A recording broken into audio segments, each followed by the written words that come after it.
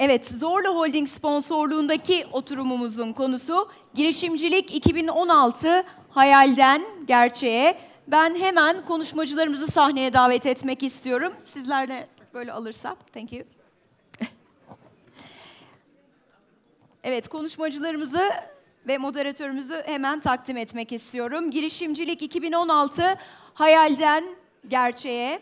Yemeksepeti.com CEO'su Nevzat Aydın. Maana kurucu ve CEO'su Babür Özden.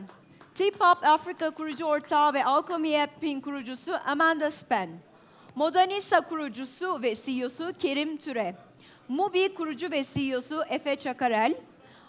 IFC yatırım uzmanı Ali Ufuk Demirci ve bu paneli yönetmek üzere Zorlu Holding CEO'su Ömer Yüngül'ü sahneye davet ediyorum.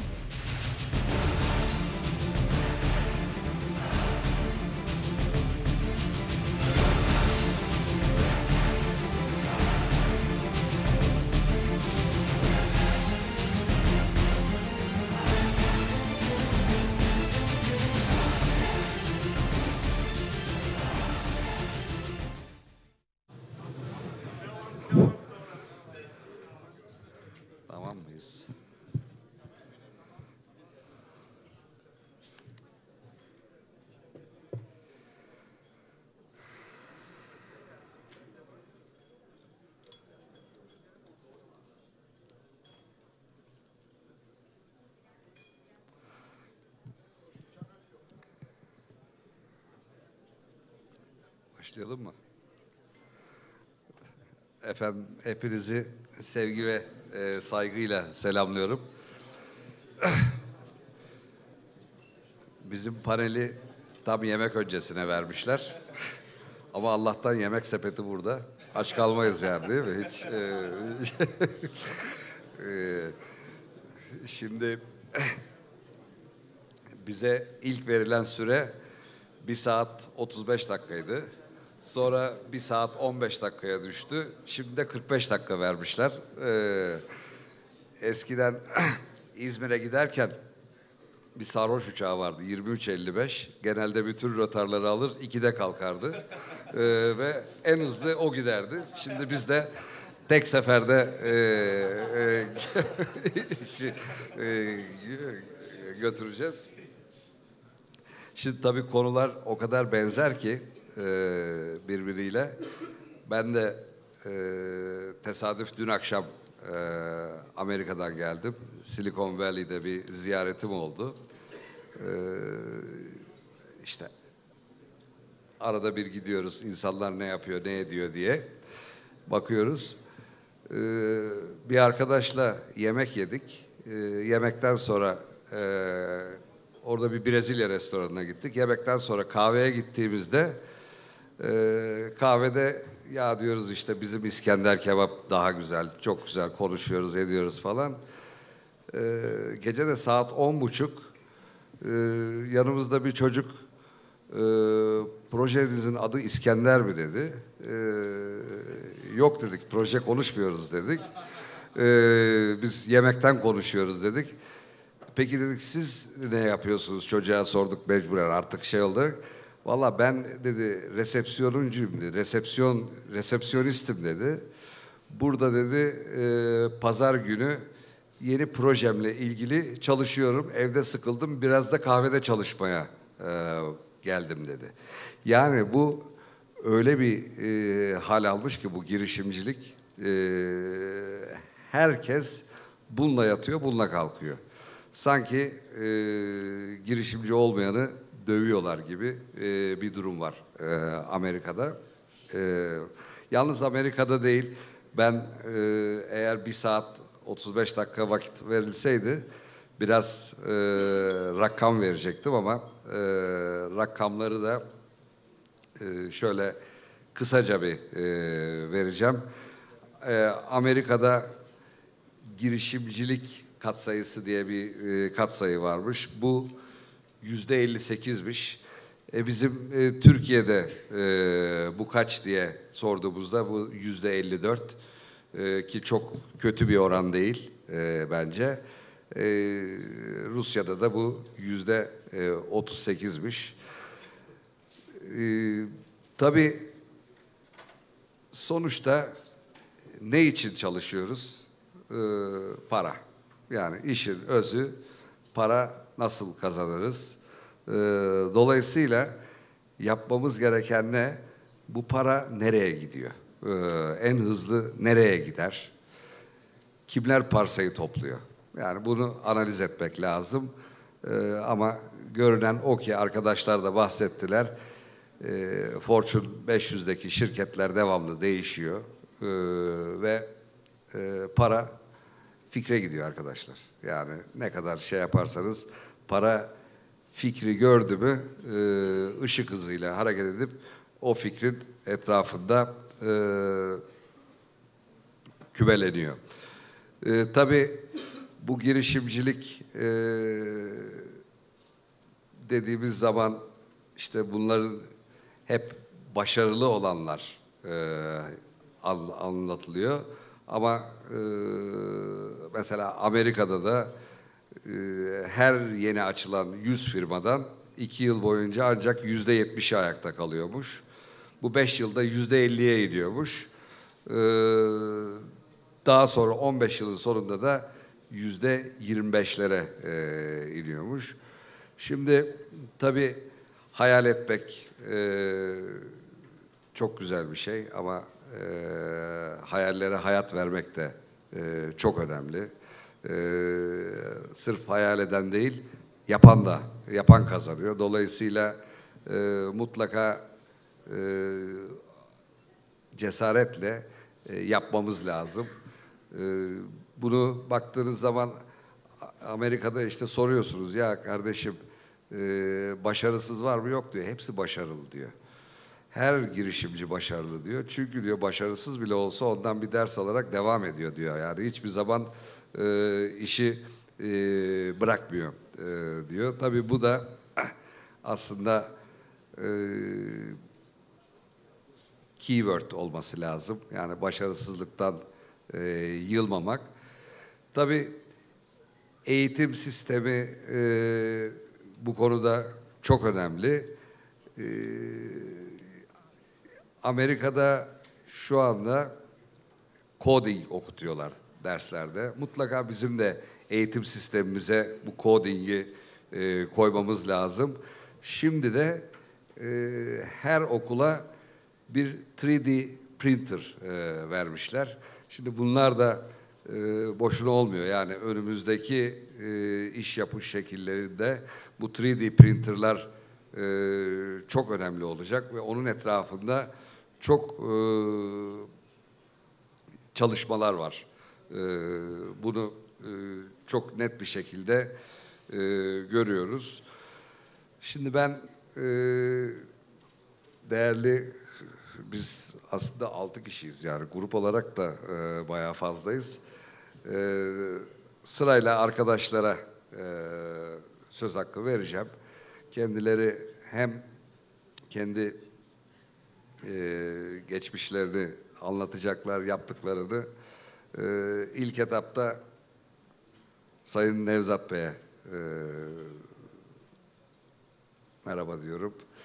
E, ne yaptınız bu 589 milyon doları?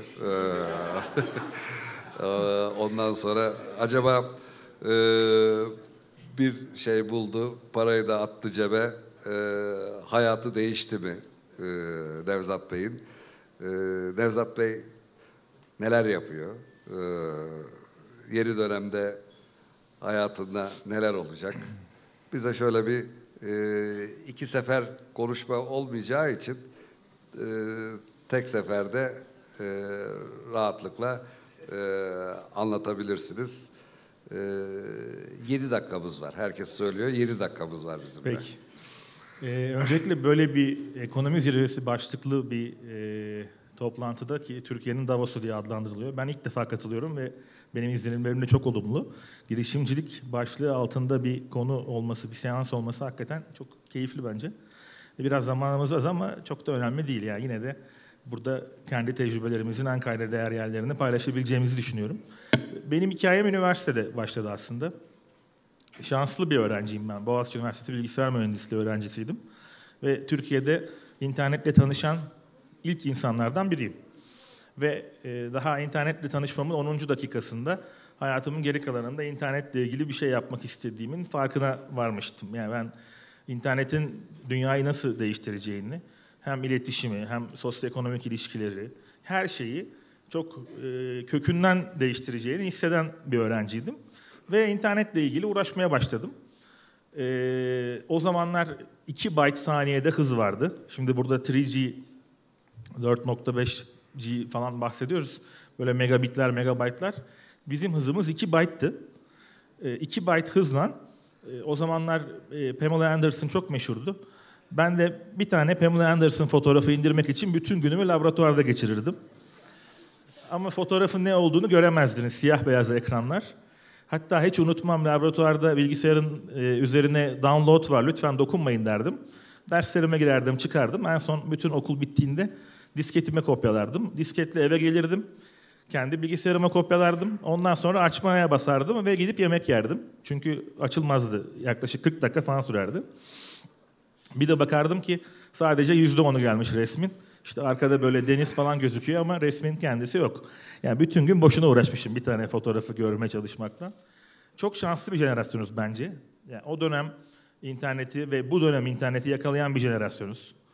E, nelerin nasıl değiştiğini, e, sosyal medyanın hayatımıza girişini, online bankacılığın, yemek sepeti gibi farklı hizmetlerin insanların hayatına girişine birebir şahit olduk. Ve biz ilk başladığımız yıllarda, 2000'li yıllarda girişimcilik diye bir kelime, girişimci diye bir kelime yoktu. Ya bana sorarlardı ne iş yapıyorsun derlerdi. Ben kendi işimi yapıyorum derdim. Böyle müstehsi bir gülümseme olurdu karşı tarafın suratında. Yani herhalde iş bulamadın veya iş arıyorsun, e, kendi işimi yapıyorum diyorsun gibi. Yani bunu izah etmek insanlara.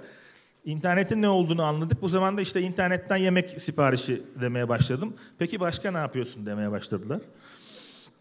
Ya biz başka bir şey yapmıyoruz. Sadece bunu yapıyoruz. Ne zaman ki işte 2005-2006 yılında e, insanlar internetin önemini keşfettiler ve kendi evlerinde de yüksek hızda internete kavuştular.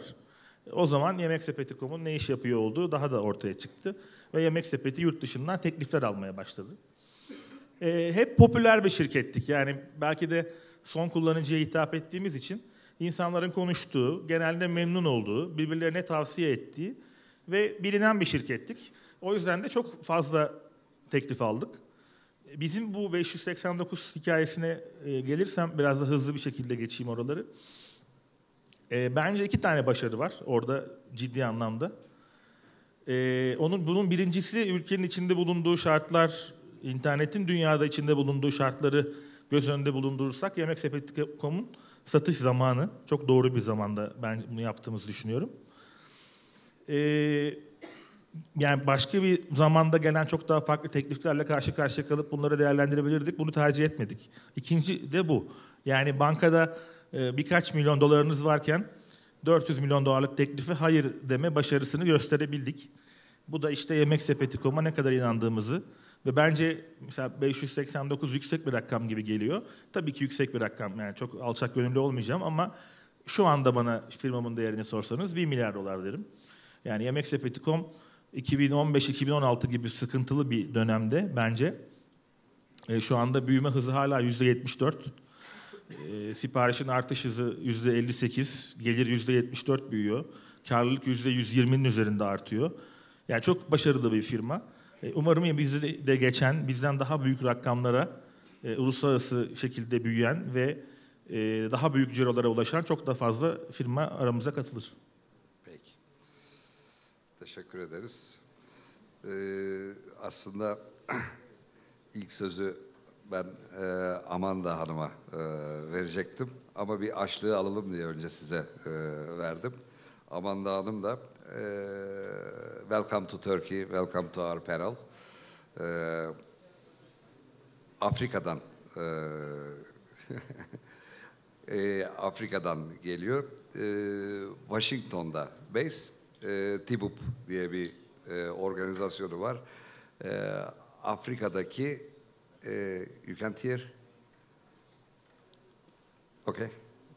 E, Afrika'daki startuplara e, destek veriyor.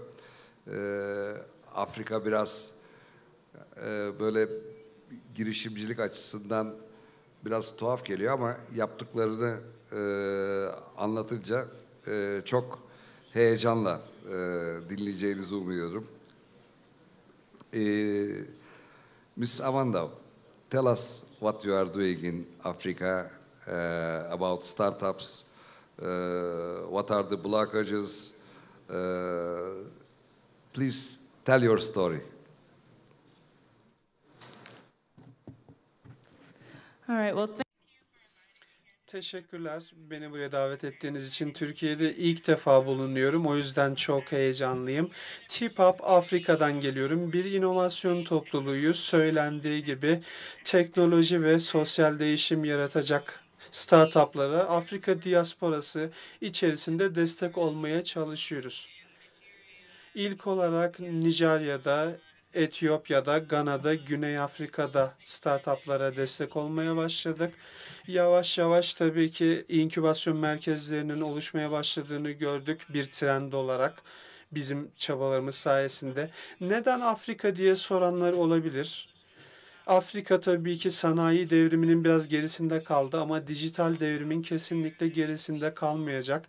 Karşı karşıya kaldığımız birçok sorun var. Onları çözmemize dijitalleşme yardımcı olabilir. Batı bölgelerinden çoğu anlamda geri kalmış olsak da bazı sorunlarımızı basit bir şekilde son derece küçük sermaye ile ve teknolojik çözümlerle çözmemiz mümkün. TİPAP içerisinde girişimcilere dünyanın her yanından girişimcilere aslına bakarsanız yardımcı olmaya çalışıyoruz. Her yerde bulunan profesörlerimizle, uzmanlarımızla, Kar- e, Afrika kıtasında bulunan girişimcilere yardımcı oluyoruz ama tabii ki doğru uzmanlığı onlara yardımcı olmak için buradan edinemeyebiliyoruz. Dünyanın başka yerinden tabii ki yatırımcıları ve uzmanları bir araya getirmemek için TİPAP adı altında bir de uygulamamız var. Bu uygulama sayesinde onları ilk olarak Afrika'nın ekonomik ve sosyal ortamına alıştırma imkanı buluyoruz. Daha sonra yardımcı olabiliyorlar. Diaspora Demode ismini vermiş olduğumuz bir toplantı düzenliyoruz yine. Yıllık olarak Dünya Bankası'nın desteğiyle bu toplantıyı düzenliyoruz. Afrika diasporası içerisindeki girişimcilerin bir araya gelmesini sağlamak üzere. Böylece yalnızca uygulama aracılığıyla bir araya gelmiyorlar. Etki sahibi insanlarla, politika yapıcılarla, uzmanlarla bir araya gelme fırsatı kazanıyorlar. Böylelikle onlara yardımcı olabilecek insanlar tabii ki bölgedeki Afrikalı girişimcilerin ihtiyaçlarını daha iyi anlayabiliyorlar. Afrika tabii ki büyük bir fırsat olarak görülmeli iş melekleri için özellikle. Çünkü yaptığınız yatırımların geri getirisi son derece fazla oluyor. 25 binlik bir yatırım yaptığınızda dolar cinsinden bunu Amerika'da yapacak olduğunuzda yalnızca birkaç hafta içerisinde yetebilecek kadar bir e, geri dönüşü olmadığını görebilirsiniz. Ancak Afrika bunu size kısa süre içerisinde ve yıl boyunca sürdürülebilir bir şekilde yatırım getirisi olarak sağlamakta. Şu an itibariyle altyapı sorunumuz var ama ne yazık ki enerji alanında, kablosuz internet alanında ama bunlar bile fırsat olarak karşımıza çıkabilmekte. Afrika'ya gelecek olursanız altyapı sorunlarına eylem projeler yine geliştirmek isterseniz burada sizin için gerçekten büyük bir kazanç potansiyeli de görmeniz mümkün olacaktır. Evet, Efe kardeş. Ee, merhaba. Ee, Efe Bey de e, daha önce bir yine bir girişimcilik e, gezisinde beraberdik. Ee, yatıyor kalkıyor girişimci. Ee, çok enteresan fikirleri var film üzerine. Ee, değil mi? Ee, benim e, sorum da e, size göre yani bu yeni mevcut dünyanın yeni girişimleri neler olacak?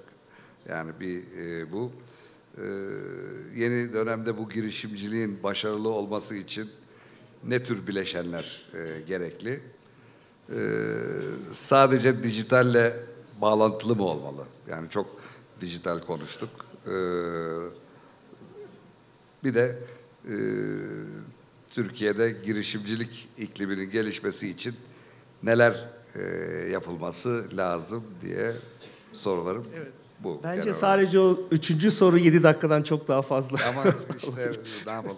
Ee, bizim konumlanmamız böyle oldu. Çok teşekkür Çok teşekkürler. Bu arada e, çok sağ olun beni çağırdığınız için buraya. Nevzat'ın da yanında olmak benim için çok büyük bir gurur verici. Çünkü hepimiz hayranlıkla Nevzat'ı izleyerek iş hayatında, giriş- girişimcilik hayatında büyüdük. Çok çok keyifli o yüzden. Şimdi ilk çıkış noktamı anlatarak sizin o kahve hikayenize biraz bağlamak istiyorum kısaca. Tamam. Ben 2007 yılında e, hemen üniversite sonrası e, büyük bir e, yazılım firmasında çalışıyorum SAP'de. Ve orada öğrendim nasıl geliştirilir yazılım büyük çapta. Tokyo'da bir kafede oturuyorum ve bir film seyretmek istedim. Tokyo e, internet hızı ortalama dünyada e, en yüksek olan e, şehir. O zaman 7 sene önce 63 megabit per second. E, e, bugün Londra'da benim yaşadığım yerde ortalama 6 megabit.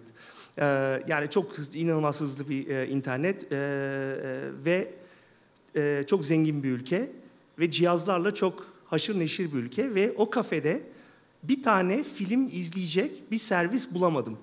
Ee, ve orada doğdu ee, internet üzerinde film gösterme macerası. O zamanlar ne iPhone var ne iPad, tablet çıkmış. Ee, o sene e, CES'te Las Vegas'ta ilk defa smart TV'ler e, giriş çok erken. Ee, ama e, inanılmaz bir şeyle ben bu bu pazar büyüyecek, insanlar giderek e, kablo, DVD yerine buralarda film seyredecek deyip e, uçakta yazmaya başladım business planı. İndim, iki ay sonra ayrıldım SAP'den. Neyime güveniyorum? Hiç sinema dünyasında bir kişiyi tanımıyorum. Ama e, bu sektörü hiç bilmiyorum ama bir şekilde bunu bunu bunu başaracağım. Ve Palo Alto'da Kupa Cafe diye bir ka- kahve var. E, çok meşhur bir kahve. Ve orada başladım ben e, şirkete. İlk iki ay çünkü hiç param yok, e, e, bir ofis kurma şeyim yok, bir kişi yok yanımda. E, ben yazmaya başladım zaten ilk e, ilk aşamada kodu. E, her gün Kupa Kafe'deyim. E, böyle 4-5 tane kahve alıyorum. Bütün gün oradayım. Çok da hızlı interneti var. Şimdi geçenlerde e, çok önemli bir anlaşmaya imza attık. Çin'de Mubi açıyoruz. Ve Çin'in en büyük e, prodüksiyon şirketiyle anlaştık. Mubi'ye 50 milyon dolar yatırım yapıyorlar. Bu çok büyük bir para benim için. Ve inanılmaz bir inanılmaz bir potansiyel orada. Çünkü Çin e, Amerika'yı geçmek üzere bir sene içerisinde sinema pazarı olarak. Ve Netflix bile giremedi daha. E, Biz Netflix'ten önce giriyoruz e, bu sene içerisinde Çin'e.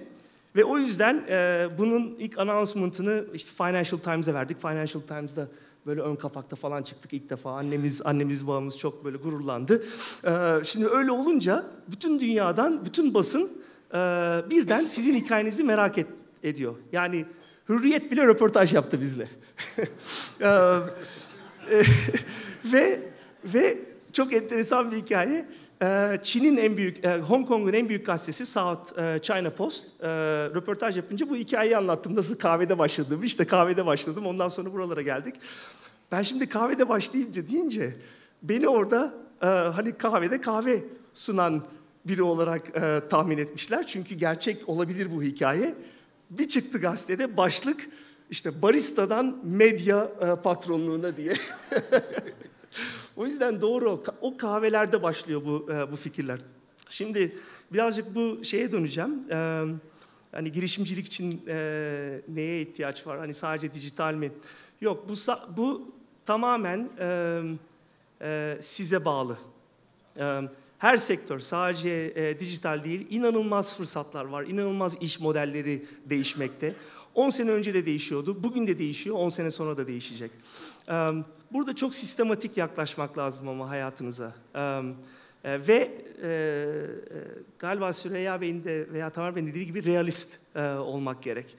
E, 20'li yaşlarda e, çok hikayeler var. Hani e, işte işte Facebook'lar falan. Bunlar ama bence e, e, e, exceptional, çok e, çok normal ve doğal değil. Yani gerçekten e, tecrübenin ve enerjinin belli bir yerde birleşmesi, birikimin birleşmesi gerek. Bence 20'li yaşlarda e, karar vermeniz gerek nasıl bir karakteriniz var. Çünkü girişimcilik kolay bir şey değil ve belli bir karakter gerektiriyor. Şimdi benim, ben o şekilde yaklaştım. Benim hiçbir yeteneğim yok. Hiçbir yeteneğim olmadığı için ben iş adamı olmaya karar verdim. Tamam ee, Ve iş adamıysanız yapacağınız üç şey var. Ya danışmansınız, ya işleticisiniz, operatörsünüz. Bu büyük bir şirkette yöneticilik olabilir, kendi kurduğunuz bir şirket olabilir. Veya yatırımcısınız. Bence 20'li yaşlarda bu üçünü deneyip hangisinde kendinizi daha rahat hissettiğinizi görmeniz gerek. Ondan sonra 30'lu yaşlarda seçtiğiniz konuda bilgi birikimi ve orada hangi şirkette çalıştığınız değil, kimin için çalıştığınız, mentorunuz kim? En önemli konu o.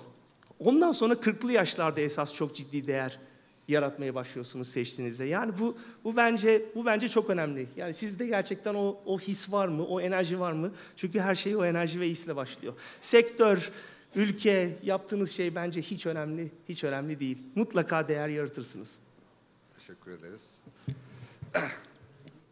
Şimdi bu e, rakamlara girince rakamlar o kadar gigalar falan oluyor ki insan e, bunları takip edemiyor.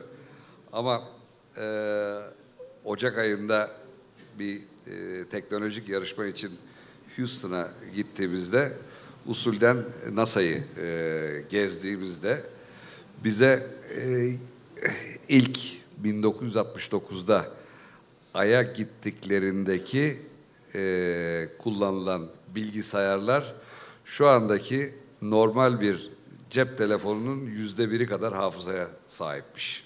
E, yani düşünün rakamlarda e, nereden nerelere geldik. E, yani o zaman hiç unutmuyorum. 1960'larda Amerikan Patent Dairesi Başkanı demiş ki bu daireyi kapatalım artık yapılacak bulunacak fazla bir şey kalmadı. Ee, geçen gün sohbetimizde konuşmacı demiş ki daha bulunanların yüzde biri bile bulunmadı. Ee, düşünün hızı yani muazzam bir hızla e, gidiyoruz. Babür Bey'e e, sözü e, vereceğim. E, ne oluyor bu Amerika'da? Hep e, her şey Amerika, Amerika, Amerika'da başlıyor diyoruz. Siz de e, epey bulundunuz. E, şu anda Silikon Vadisi'nde ilgi gören, yükselen işler ne? Bence her şey var orada ama e, belki daha güzel e, toparlarsınız.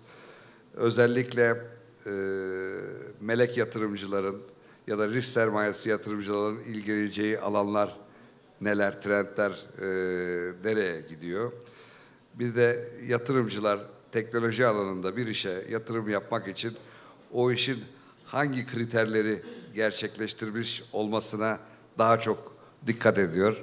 Böyle bunlarla ilgili bize e, bilgi verirseniz memnun oluruz. Duyabiliyor mu herkes beni? Çok güzel. En son sorudan başlayayım. Ee, genelde e, yatırımlar firmaların değişik seviyelerinde alınabiliyor. Ee, ben örneğin e, kendi kurduğum ve başında olduğum firmayı ilk yatırımcılarım General Electric ve Intel. E, iki kişiydik, beş tane de slide'ımız vardı. E, karşılarına gittiğimizde 2013 yılında çok erken seviye yatırım. E, bazıları e, belirli bir olgunluğa, product'ınızın olgunluğa gelmesini bekliyor. Bazıları ise belirli bir satış seviyesini bekliyor. Dolayısıyla böyle belirli bir şey yok. Her firmanın her sürecine uzman olmuş yatırım yatırımcılar var. Melek yatırımcılığın çehresi bayağı değişti. Şu anda en aktif melek yatırımcılar aslında büyük venture firmalarının paralarını yatırıyorlar.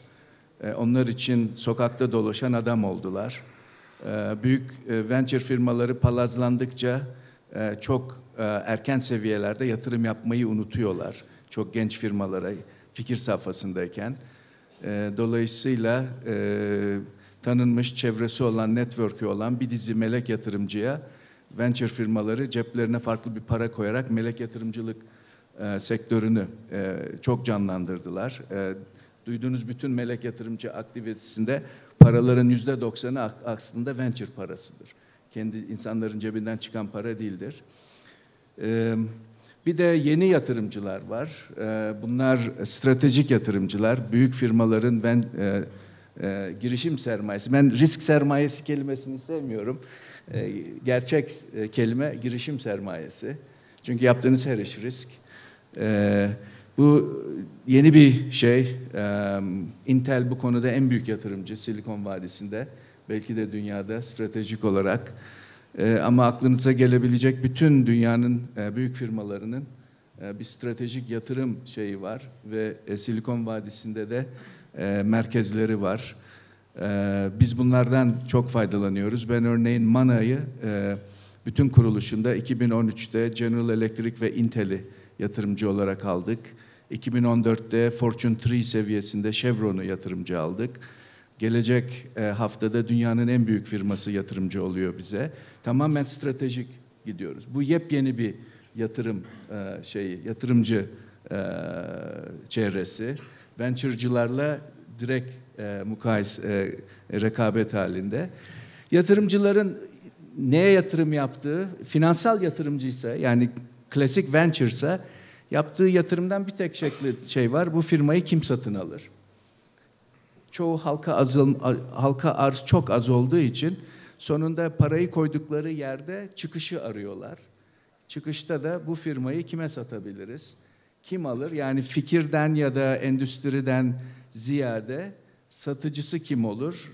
İlk bence bakılan şey o. İkinci takım kim e, arkada? Üç, e, Süreyya'nın dediği gibi de ayakları yere basan bir yaklaşımda bir işi büyütme planlarının, e, hedeflerinin e, olması. Şimdi e, hakikaten çok enteresan. E, şimdi Ankara'ya gittiğiniz zaman nereden başlarsanız konu mutlaka politikaya geliyor. E, İstanbul'da aynı şekilde gittiğiniz zaman para e, bu Silikon Valley'e gittiğiniz zaman hep girişimci, paramı hangi girişimciye yatırsam, kime sonunda satarız. Hakikaten bu e, ister istemez bu sizi bu konulara çekiyor. Ve e, işte merak ediyorsunuz. Ya bir arkadaşımız var orada. E, adamın işi bunlara para yatırıp ondan sonra da exit olmak. Ve ya denk gelmedi ama kaybeden de duymadım bugüne kadar. Ee,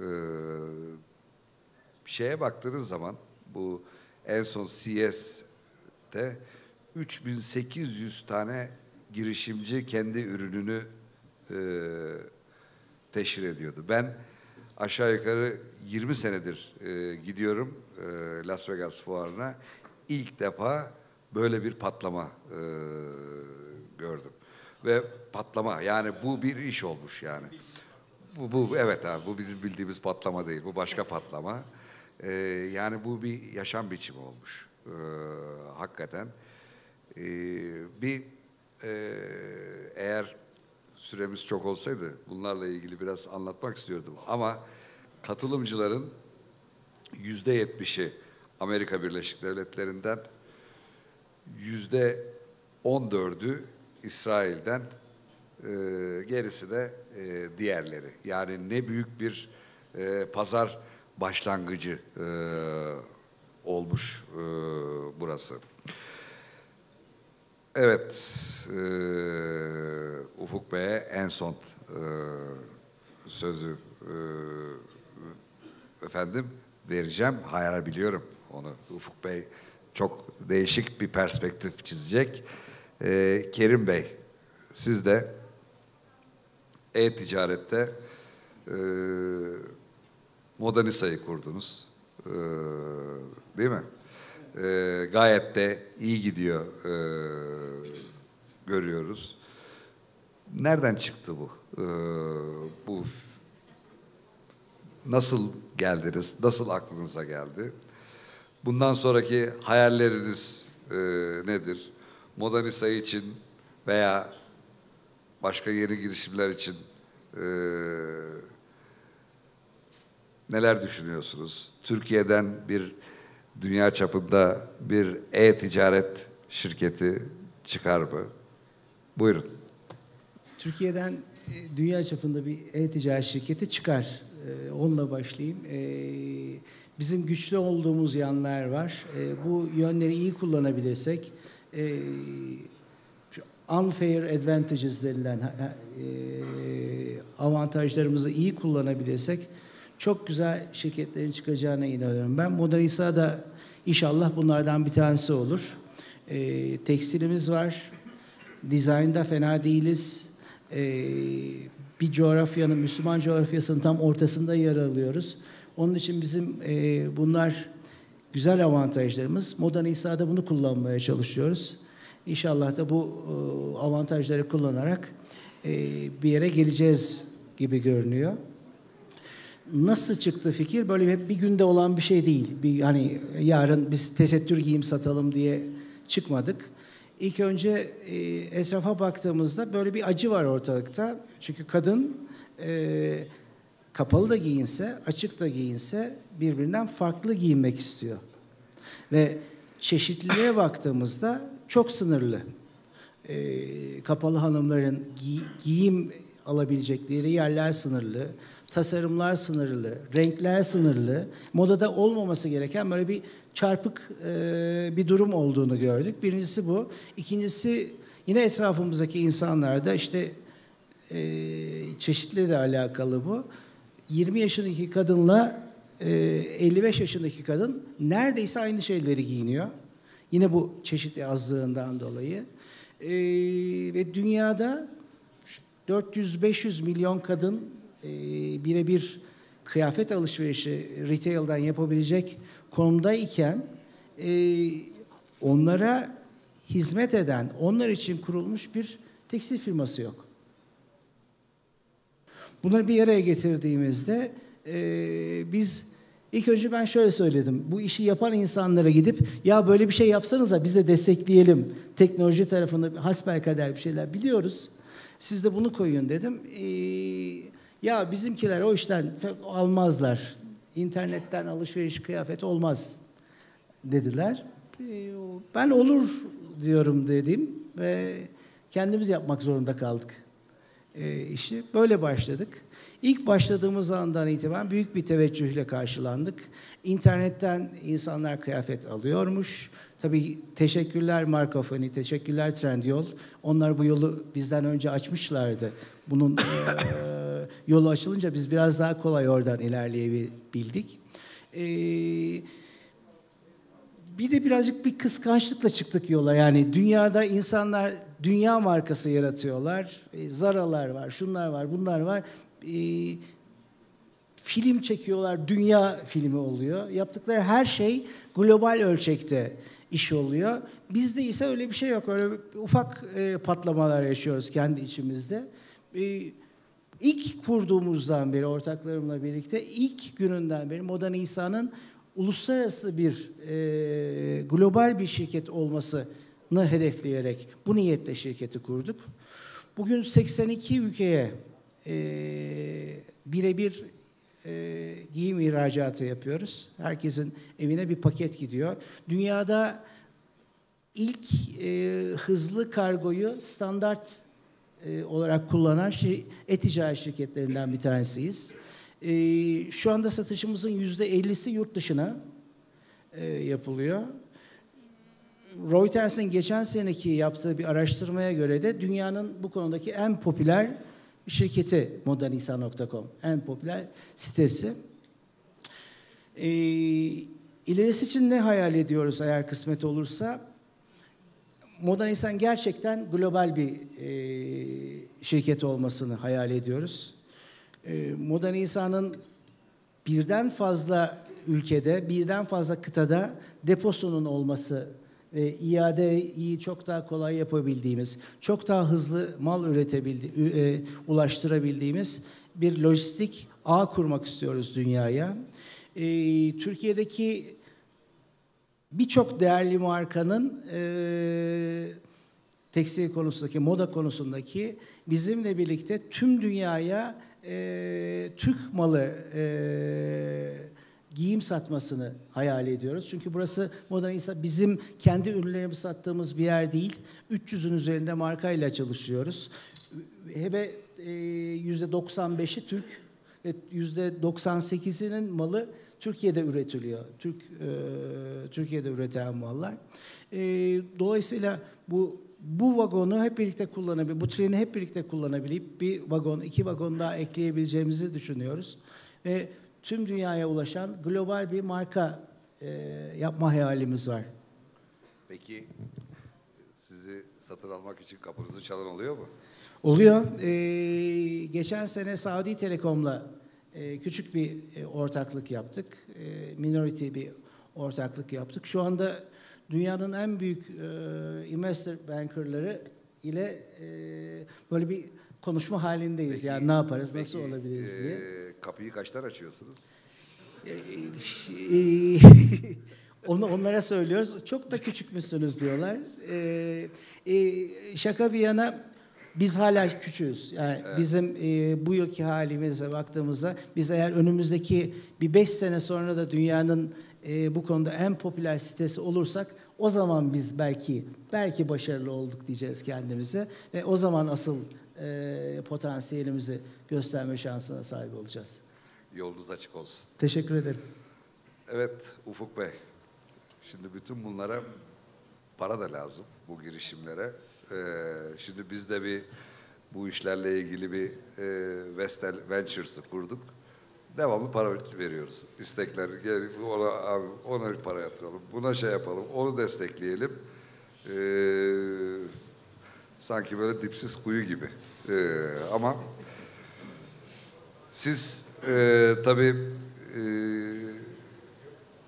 e, IFC olarak e, ne oldu? Ha, e, girişimcilere e, dünya çapında destek veren, e, finansman desteği veren bir kurumda çalışıyorsunuz. Türkiye'nin e, girişimcilik ve risk sermayesi her ne kadar bazılarımız bu kelimeyi sevmiyorsa da e, açısından bulunduğu yeri nasıl buluyorsunuz? Böyle bir e, bir karşılaştırma e, yapar mısınız? E, ne gibi destekleriniz var? Hangi alanlara daha çok yakınlığınız var? E, hangi tip girişimleri, şirketleri e, destekliyorsunuz? Bu e, sabah da çok e, konuşuldu bu melek ekosistemini nasıl değerlendiriyorsunuz? Buyurun. Çok Sesim- değişik bir sesim bakış geliyor. açınız olacak herhalde Evet. sizin. Ee, şimdi Efe demin konuşurken e, ilginç bir şey söyledi.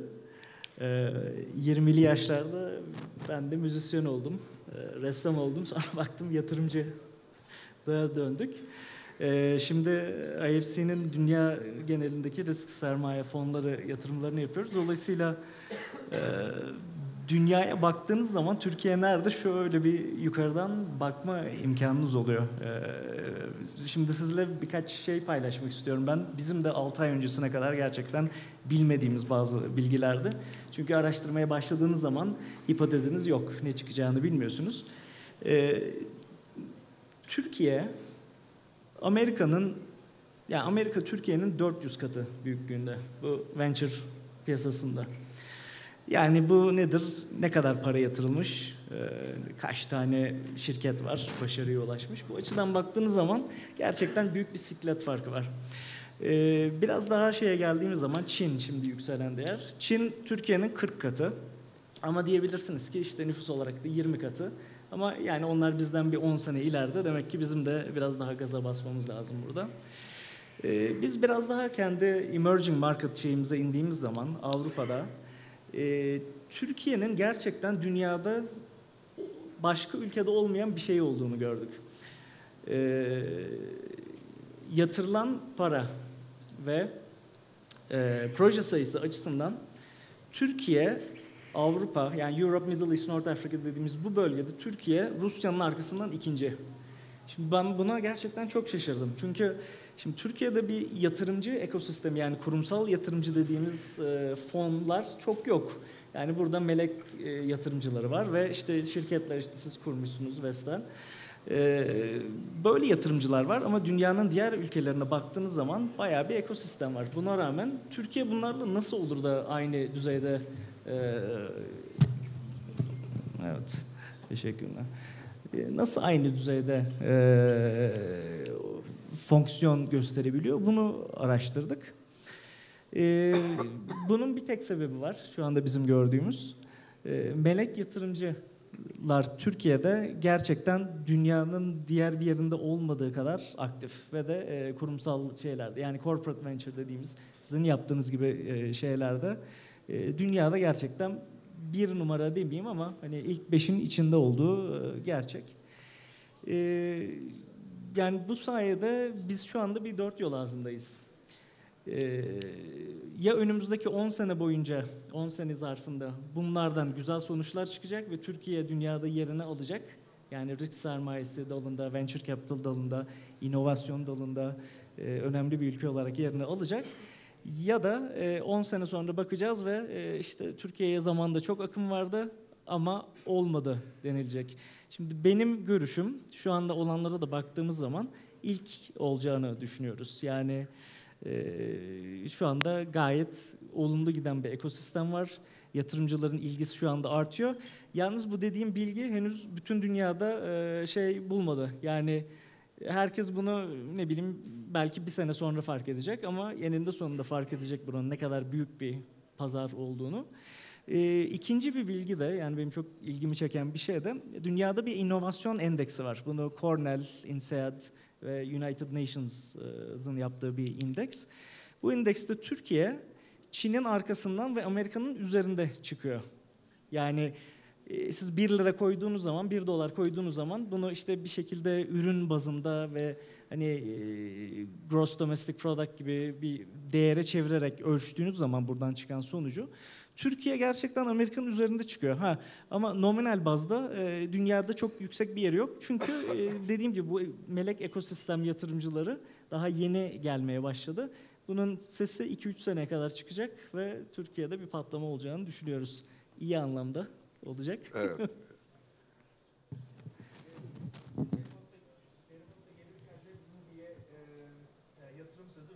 Ufuk Bey. Öyle mi? Evet. İyi, iyi.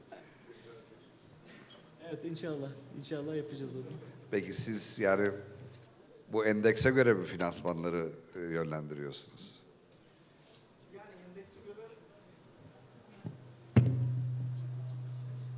Endekse göre değil tabii. Yalnız e, Hangi konular daha çok mesela sizin şu anda radarınızda diyelim? Radarımızda şu anda bizim medical technologies var. Çünkü Medical. e, medical technologies e, çünkü gerçekten bir noktada artık doktorların da ellerini böyle bıraktığı ve robotların sizin üzerinizde şey yaptığı bir duruma e, doğru yer alıyor dünya. E, ikinci bir e, önemli konu nanoteknoloji. Yani bu da gene e, yani zamanında bakıp işte bu çok bilim kurgu dediğimiz şeyleri düşünün. İşte telefondan görüntülü olarak biriyle konuşabilmek mesela. Yani bunların hepsi şu anda oldu. Diğer e, olacak şeyler de makine ve insanın birleşmesi olacak. Yani bu nano robotlar sizin içinizde dolaşacak. Bir hastalığınız varsa e, siz daha bunun farkında olmadan bunları e, ortaya çıkartacak. E, üçüncüsü de e, yani konuşmacılarımızın belirttiği gibi işte big data denilen yani insanların davranışını inceleyen, e, alışveriş paternlerini inceleyen, bunların analizi, bundan ortaya çıkacak sonuçlar nedir ve e, işte bu e, şirketlerin yatırım e, ve pazarlama stratejilerine nasıl yön verebilir şeklindeki ürünler. Bunlar bizim şu anda önceliğimizde olan ürünler. Robotlaşacağız galiba sonunda. Evet. peki, peki. Çok teşekkür ediyorum. Ee, zamanımızı iyi kullandık. En iyi kullananlardan biriyiz arkadaşlar. Ee, çok teşekkür ederim. Bizi dinlediğiniz için de ayrıca sizlere teşekkür ederiz.